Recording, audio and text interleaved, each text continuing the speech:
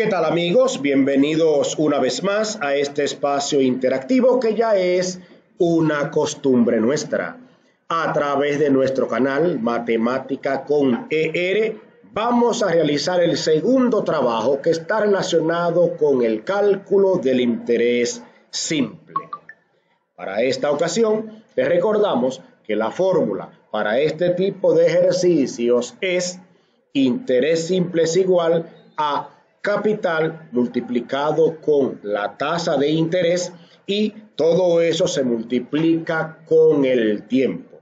Vamos al único ejercicio que va a tener este problema. Doña Carmela le presentó a don Gregorio y más que presentarle, le hizo un préstamo a don Gregorio, ahora sí, lo dije correcto, la suma de 565 mil pesos a una tasa de interés de 3% con el compromiso de que don Gregorio lo devolviera en un plazo de 8 años. Recordando que debemos identificar los datos del problema para poder resolverlo y tenemos dentro de estos insumos que el capital es igual a 565 mil pesos. El interés es igual a 3% y el tiempo está calculado para durar 8 años. Luego de ahí pasamos entonces a, a identificar la fórmula que usted la está observando en la pantalla.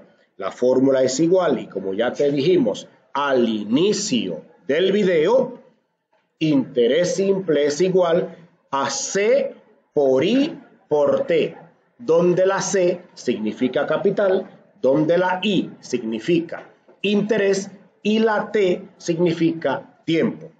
El siguiente paso entonces es el desarrollo, donde consiste en sustituir cada letra por el valor asignado según el problema.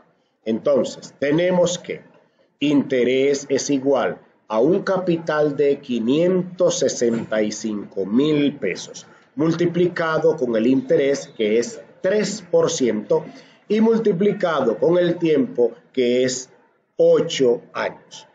El siguiente paso, y usted lo está, lo está viendo ahora del lado derecho de su pantalla, que el interés es igual a 565 mil pesos, que es el capital, la casilla del medio o el paréntesis del medio que corresponde al interés, ahora usted lo ve transformado. 3 sobre 100. Lo hice mal porque el 3 sobre debe estar, esa línea debe estar horizontal y el 100 debajo. Pero ahí usted lo ve, el 3 es las 100. Eso es un error y por falta de tiempo y para no editar, lo estoy dejando así. Pero en un próximo trabajo lo voy a colocar como debe ser. Y eso se multiplica por 8, que son los años. Ahora bien, el interés es igual al capital de 565 mil pesos multiplicado con 0.03. Ese 0.03 es el resultado de dividir 3 en 100 nos da 0.03 y se multiplica con el 8. Recordando que en este video no vamos a transformar los años en meses, porque los intereses nunca pueden ser mayor que el capital. Recuerde que nosotros no somos delincuentes. Multiplicamos el capital por el interés. Cuando ya dominamos el problema, se hace la multiplicación consecutiva. Capital, interés y el tiempo. Pero aquí, para que lo lleves todo procesual, multiplicamos 565 mil por 0.03 y eso nos da como resultado 19.950. Ese resultado obtenido lo multiplicamos con el 8, que es el tiempo establecido. Y eso nos da entonces 135.600 pesos.